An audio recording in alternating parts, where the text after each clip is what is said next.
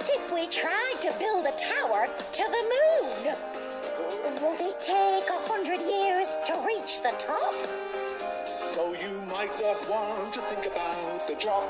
Huh? Don't stop. Don't stop.